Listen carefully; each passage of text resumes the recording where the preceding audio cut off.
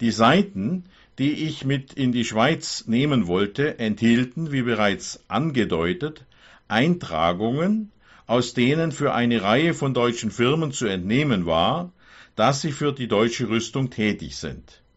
Ich hoffte bestimmt, dass mich die Schweizer nicht ausweisen würden, wenn ich ihnen diese Mitteilungen überbringen würde